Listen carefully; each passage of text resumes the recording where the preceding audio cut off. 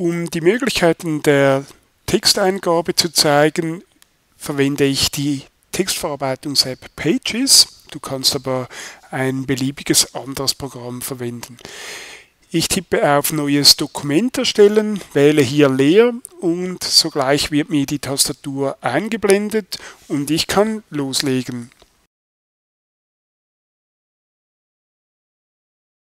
Oha, eigentlich wollte ich schreiben fragt, aber es beginnt mit einem großen F. Hier ist eingestellt, dass automatisch nach einem Punkt groß weitergefahren wird. Ähm, deshalb deaktiviere ich die Shift-Taste und schreibe nun weiter. Hier soll nun 100.000 Euro stehen und du siehst, ich habe auf die Zahlen getippt und gleichzeitig habe ich hier unten die Sonderzeichen und unter anderem auch die Währungen. Also die sind bei den Zahlen und Sonderzeichen. Weitere Sonderzeichen findest du hier über diese Taste. Und manchmal findest du in, hinter den verschiedenen Tasten noch weitere Sonderzeichen, beispielsweise mein Lieblingsanführungszeichen, das liegt hier dahinter. Ich habe nun noch gemerkt, dass ich einen Fehler gemacht habe. François schreibt man mit einem Circonflex.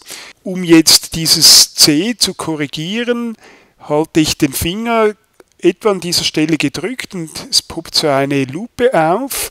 Ich kann direkt in Anschluss an dieses C hinfahren und jetzt die Löschtaste betätigen und stattdessen, ähm, indem ich das C lange gedrückt halte, ein Alternativzeichen, eben dieses Circumflex, ähm, auswählen und einfügen.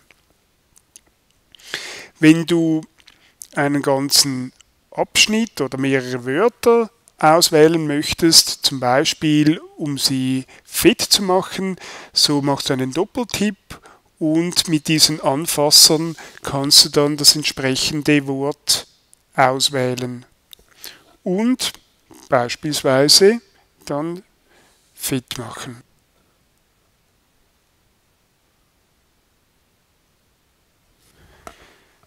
Wenn ich weiter schreibe, so siehst du, beim Schreiben werden mir laufend Vorschläge gemacht. Ich muss also das Wort gar nicht fertig schreiben, sondern kann, wenn ich das sehe, gleich das richtige Wort auswählen und kann so viel effizienter arbeiten.